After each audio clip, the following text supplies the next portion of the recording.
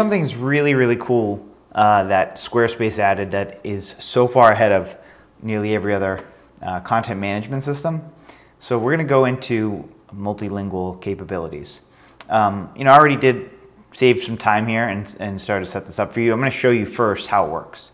So um, the site was written in English and it was automatically converted for free into Spanish. So I can switch back and forth between English and Spanish and it converted all of the text. Amazing. So how do you do this? So we're going to go into settings. going to go language and region.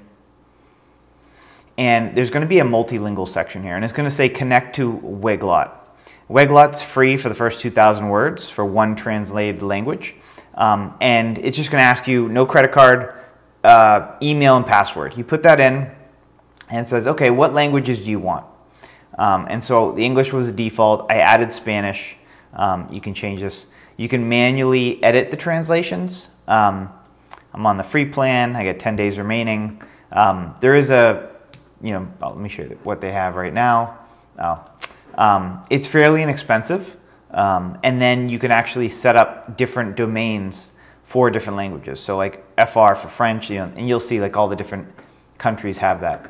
But this is such a great setting um, if you live in a very diverse area or you serve very diverse customers.